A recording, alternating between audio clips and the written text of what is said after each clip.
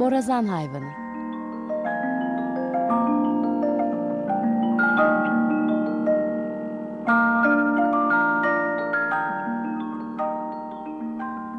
Eskiden suları mine çiçeği gibi mavi bir gölde bir sürü su bitkisi ve hayvanı bir arada mutluluk içinde yaşarlarmış. Çünkü herkes kendi işinde gücündeymiş. Kimse kimsenin yiyeceğine yuvasına el uzatmazmış.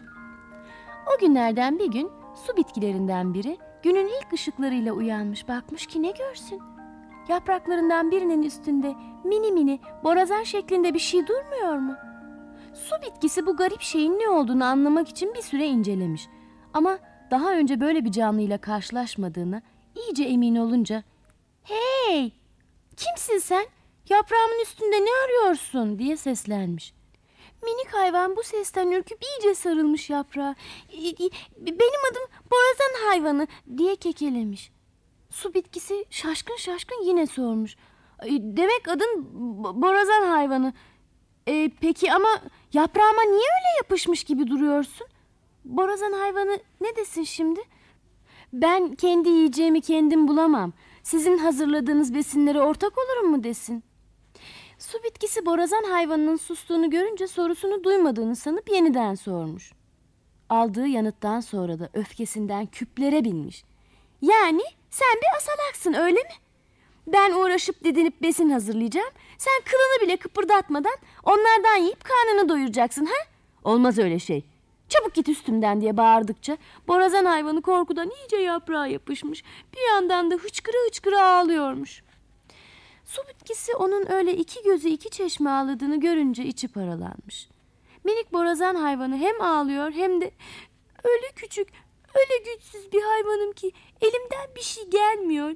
İnanın ben de çok üzülüyorum bu işe. Başkalarının uğraşıp didinerek elde ettiği yiyeceklerine ortak çıkmak çok çirkin biliyorum. Ama ne yapayım ben böyleyim işte. Yalnızca borazan çalmayı bilirim. Sular içime dolup boşaldıkça öyle güzel sesler çıkarırım ki diyebilmiş. Su bitkisi minik borazan hayvanına bir kez daha bakmış. Öyle küçükmüş ki onu kovmaya gönlü el vermemiş. Sana da bir iş bulmalıyız. Yediğin yemeği hak etmelisin. O zaman yaprağımda kalabilirsin demiş. Borazan hayvanı bu sözler karşısında sevinçten neredeyse hoplayıp zıplayacakmış.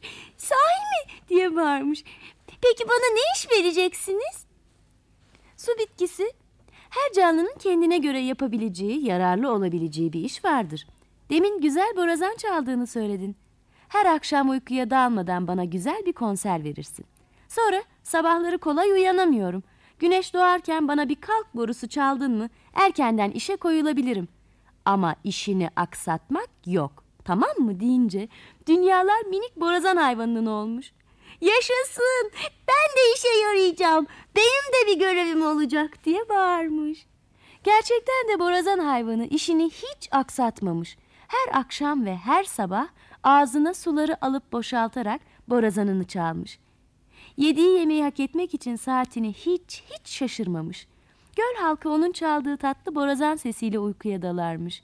Günün ilk ışıklarıyla da yine onun di da da da diye çalan borazanıyla yeni günü selamlarlarmış. Masalımı sevdiniz mi?